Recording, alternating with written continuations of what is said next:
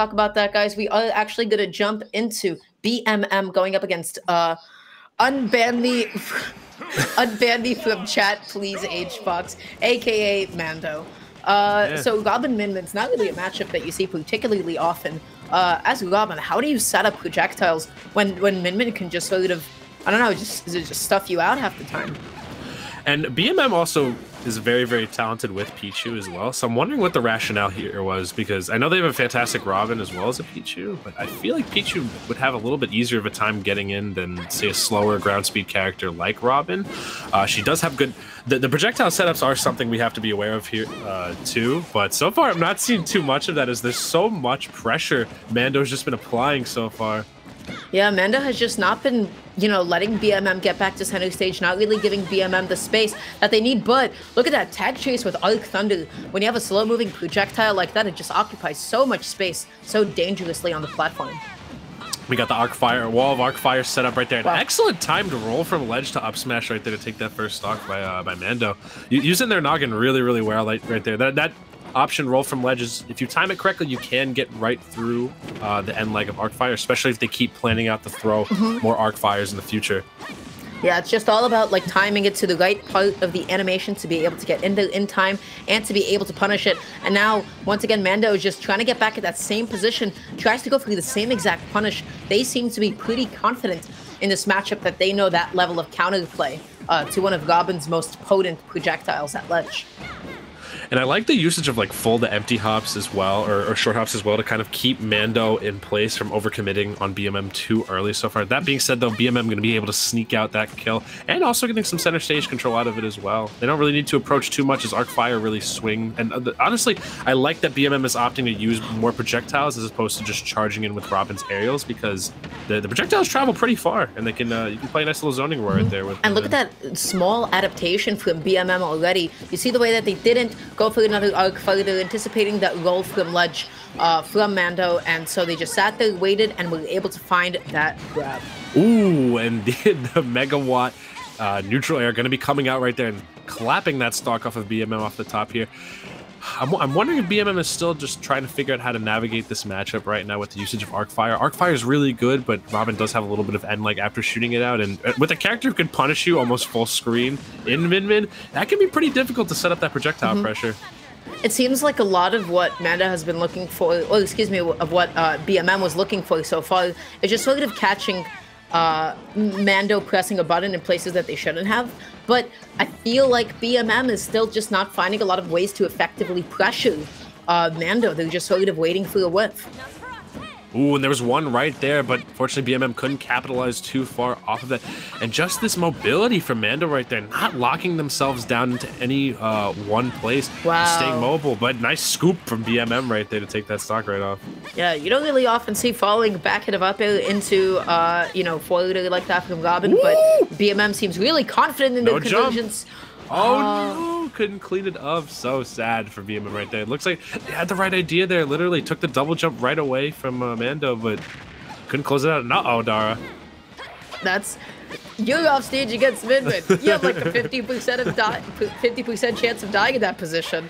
Uh, good, good on BMM to be able to avoid that. But now, how do you get back out to stage against Mando? Oh, yeah. Able to catch that jump out of the shield.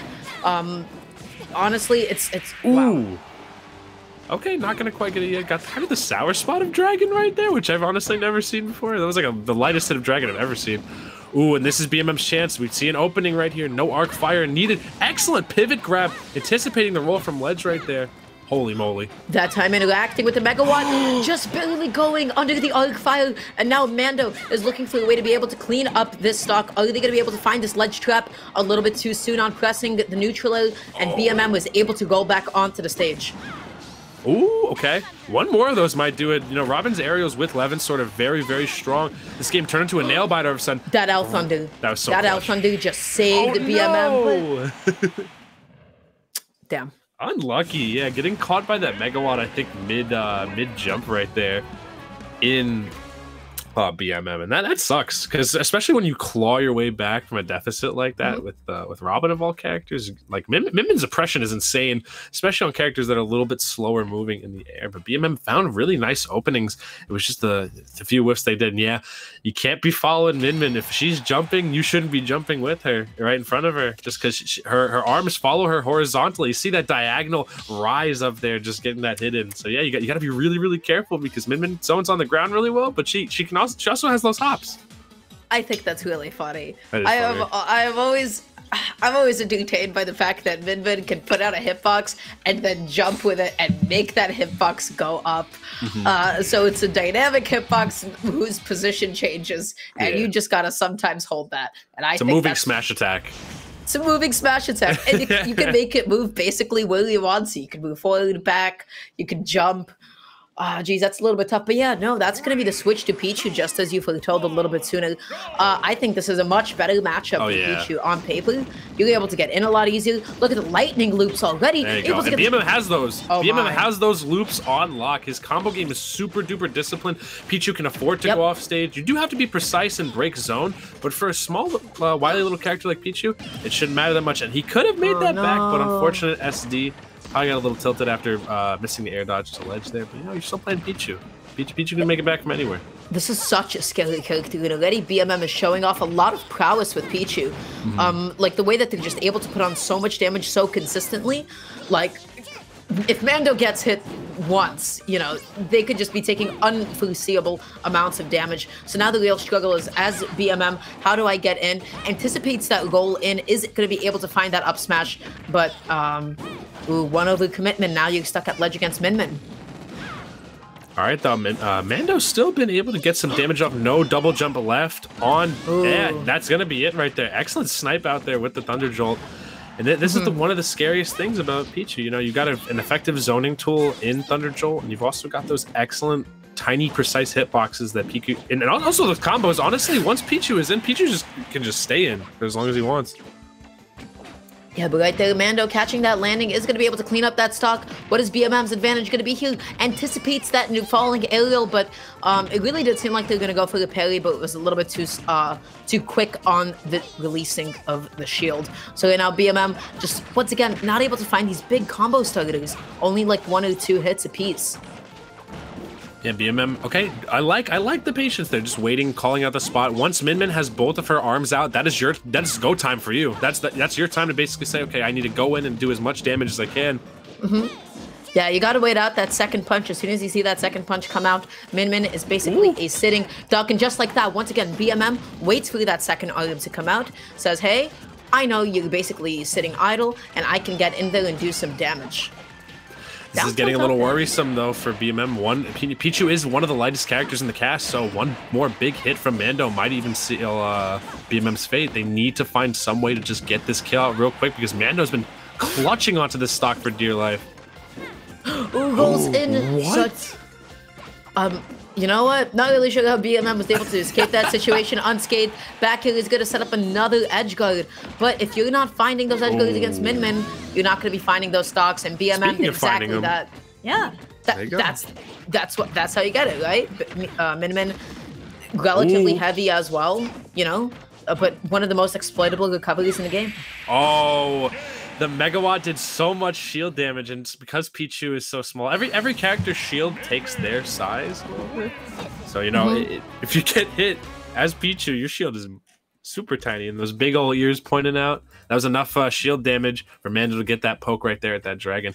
BMM looking good. You know, there was an SD that game, but uh, Mando just so so tight in terms of just playing the back foot. Did what he Mhm. he angled it up to to get the shield Uh, poke. That was excellently played by Mando right there. Pichu's Pichu's funny little use. Oh yeah. Oh man, they they uh they really poke out of the shield sometimes, and, and they try to patch that. They really tried to fix that, but guys, angle your shields. It might save your life sometimes. Mhm, mhm. Make sure it makes it makes your already small shield just a little bit bigger in the places you need because you don't need to be blocking behind you if you're getting attacked from the front. Oh, we got a trip. Okay. Yes, these lingering nairs have actually been doing a lot for uh, BMM right here. I want to see him use them a little bit more just to try and pick off uh, Mando when he's in the air because it is, it is Pichu's safest aerial, I believe. If it's spaced correctly, it's pretty hard to punish it out of shield. Ooh, dashing back has the right idea and trying to catch that landing, but is still going to trade at the end of the day. And now uh, Mando is just doing anything that they can get a cat to get some space for themselves. Um, it's really just kind of like this war of can I keep you out or will I be able to jump in and you know deal damage and get you off stage eventually? BMM has not been able to execute that. And Mando just been holding so much horizontal space on this stage, just sharking pretty much every area BMM is falling as soon as the initial hits uh, settle. And this, this is looking tough. You know, Mando's defense has been really, really good, and just the trapping at the ledge has been fantastic as well with how he's been time, uh, how they've been timing their arms. But geez, that that was almost really, really bad. Good snap to ledge right there from Mando.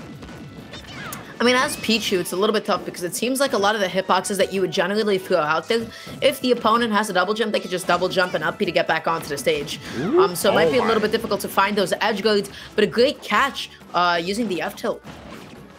Yeah, just hit him with the stanky leg right there. Just get catching that regrab really, really nicely. And now BMM needs to start putting Mando in the mix. You know, we've been seeing these high recoveries, these retreats, but it's made very clear that Mando's game plan is just get as much space between Min Min and Pichu as possible and just keep applying that pressure.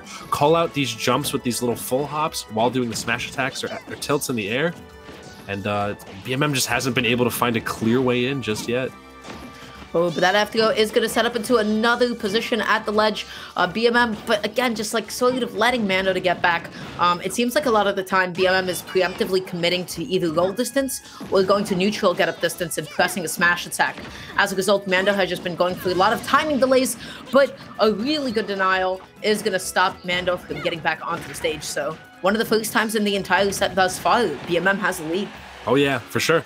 And uh, it's uh, the name of the game is honestly patience against Minmin. You have to wait a lot to just pick your spots very, very well. It's like infiltrating mm -hmm. a fortress, basically. Like you, you need to know when the, the the dust settles and the attacks are off. That's the double jump right there. Still BMM. There we go, lingering that's there, it. and that's gonna be it right there. Excellent edge guards. Me Melee ain't the only game you can edge guard, and you can do it in this one too, and it's super effective against characters like Min Min. You know, know, know, about, know how to pick those spots. It's all about threatening with position. Mm-hmm. You saw the way that BMM jumped out there, was just like able to scale, um, you know, Mando to going a little bit low. They just like continued to like sort of really pressure them in that distance and then was able to force that low recovery. So as soon as you get a guarantee from where they are going to be recovering, um, that's when he can start to get that punish. So I feel like the stall out actually hurt Mando there quite a bit because they were on their way mm-hmm. back. BMM wasn't anywhere near, uh, you know, a position where he could have edge guarded Mando just yet. You know, he could have air dodged to ledge or done something, but you know, he, he picked his spot really, really well and just, you know, waited for the stall because Mando's been stalling almost every single time on the way back to stage and BMM finally mm-hmm. caught up on it. Yeah. It's it, it really just goes back to the concept of like you know you can go through as many timing mix-ups as you like but at some point if your opponent forces you to go and recover from a certain position and they know where you're going to recover from that could just be death. All right though we got a pichu combo tm whirring up right now. 40 damage already off on mando. You know B- bmm's got those on lock I like the T-Jolt usage to find some sort of entry right here because Min Min really has no reliable way of uh, nullifying that unless she decides to do mm-hmm. an up smash to reflect it, which is pretty committal, honestly, to do against projectiles. Yeah, but what I really like the approach that I'm enjoying a lot more is the way that Amanda is trying to catch the jumps that come before a lot of those T jolts, mm-hmm. um, and just try to intercept uh, BMM halfway through. Ooh, back to go off the stage. This is going to set up into such a nasty edge guard, and neutral is a lingering hitbox. I really like the choice to go for neutral instead of one of the arms, uh, because that's like the only one that can probably go past uh, T jolt instead of stopping halfway. And I like the retreat there from BMM just to shoot out the T-Jolts, realizing that the, sh the, shield was too low. And unfortunately, you have to wait your turn against Min Min. It's a 1-2 combo a lot of the time. You know, just one arm isn't a full commitment from Min Min. She has to throw both at it in order to really have a her defense dropped at that point. Yeah, you just really, that is a character that you really have to wait your turn against. And that's exactly what BMM is doing now, going at double jump distance. That was not a space that Mando could threaten in time. That neutral get up uh, ranged F smash is going to be able to take out that stock. It seems like BMM is making a lot of adaptations uh, to the way that he's just jumping in um, a lot safely than he normally would.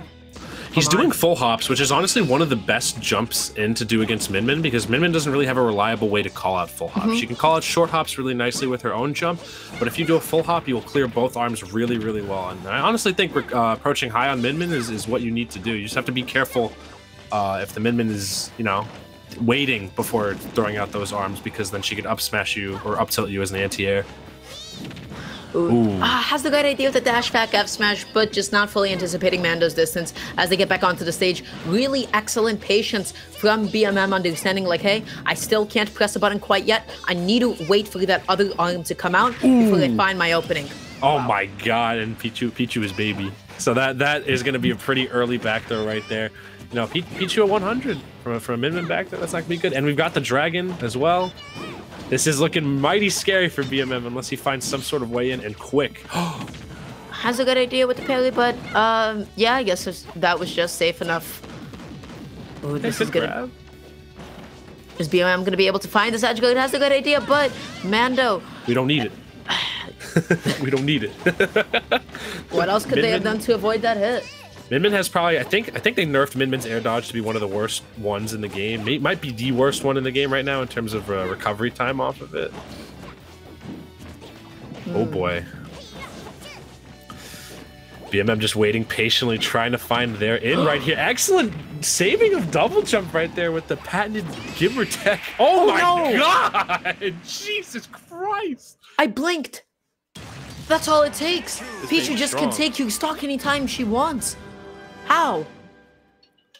Pichu's strong as hell. That you know her, her thunder's very very good. See, didn't blow the double jump because they did the footstool. That was so oh my, smart. I want to. I just want to go back to that. That was that, was, so actually good. that was pixels. I want I want y'all to see just how close this up smash was to connect. Oh wait, am I at the wrong part? I think I'm at the wrong part. yeah. I gotta go a little bit. Go. I gotta go a little bit back. Oh my god! I wish we had time to see this. No, okay. Now we're getting back into it. It Guys, was a I'm good so play. Sorry. I tried. It was a I good play. I tried play. my best. that double jump to escape that up smash was so good. BMM's spacing uh, thing was immaculate. This is a game five situation, Dara. Already game five situation. This is the first set of the day we're casting. And I want to say, typically with Get Clipped, I feel like a lot of the sets that we do see are, are kind of 3 clean sweeps. Yeah, they're blowouts. They're crazy. But this has been a lot more even in terms of, uh, I think, bracket skill density. You know, it's been really, really good. I like this a lot because we get a lot more tight sets from these up-and-coming players who haven't had a huge shot to make their name just yet. Yeah, but watching BMM's adaptation over the course to the set is so exciting. They're starting to really change a lot of the ways that they jump in and are finding a lot of those edge guards against Mando. Mm -hmm. So BMM is truly finding ways to solve this matchup for themselves. We are on a completely flat stage now, though, so there's not many platforms for BMM to uh, navigate away from unless those platforms come back into play, like right now, for example. Such good recognition that uh, he has enough time to be able to duck under those hitboxes, gets that tag chase with the up smash, but I'm surprised that wasn't like a bigger option. Uh, maybe one that would kill in that moment. And BMM just playing with the utmost patience right there, not trying to take any large commitments at mid-range, just waiting for Mando to get a little uh, antsy and just whiff. Oh my. Ledge regrab? Wow! Gets him every time. You either roll in from the corner or you jump. Uh, no matter who it is, everybody does it at some point. Uh, so that was an excellent catch from BMM and was able to find that kill as a result. Using the neutral as a way to reset the situation and continue this ledge trap, BMM is just putting on all of this damage. For real, and I love how BMM isn't choosing to just hold shield mid-range. As soon as the initial pressure is done, they'll do a jump away just to make sure that shield doesn't drop too far so they can get poked. Just really, really smart gameplay right now from BMM. Oh, Love the high recovery mix-up. Yeah, Amanda was just not ready to be able to cover the platform in that position. I like the idea what to get to go off stage with a back like that. It did seem like BMM was this close to getting it, but not quite.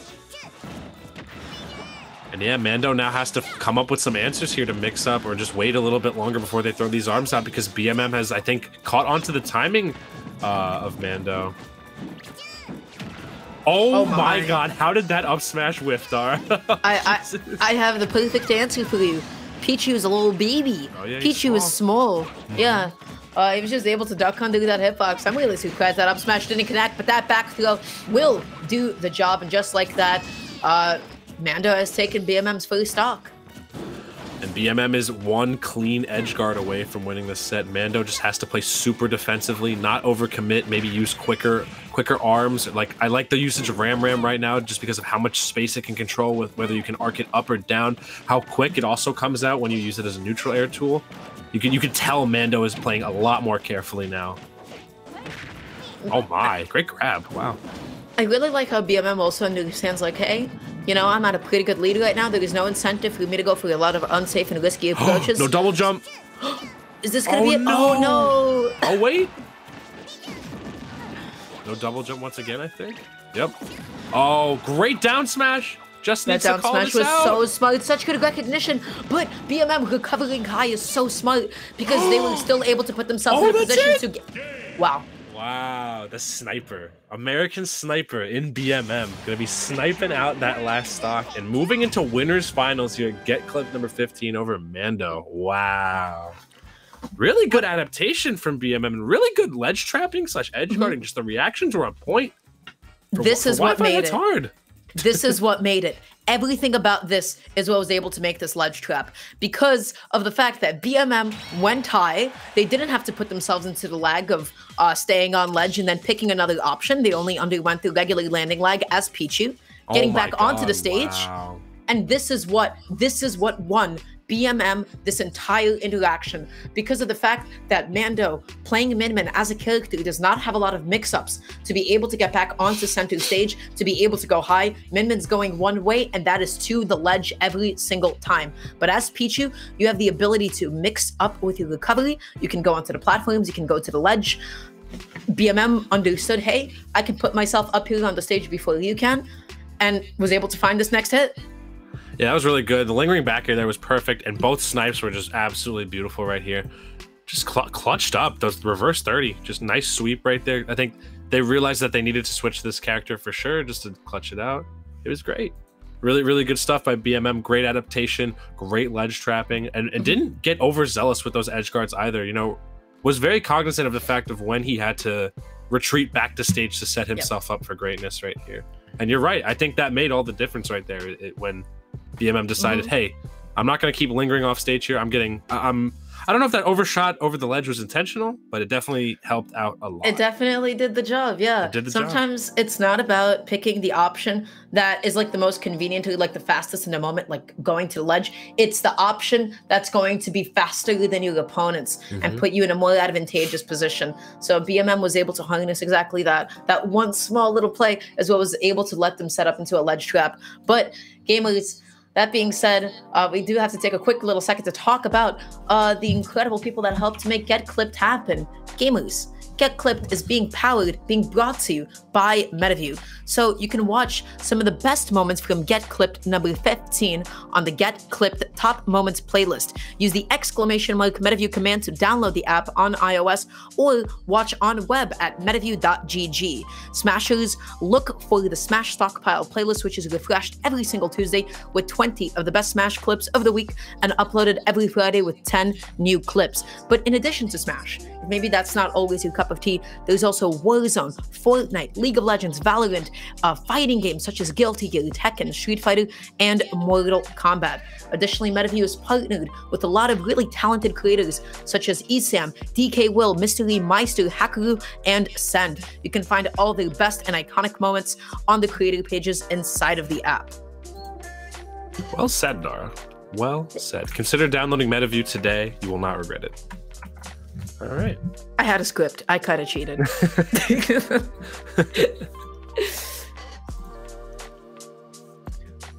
um, but Oh yeah, we got more. yeah, in addition,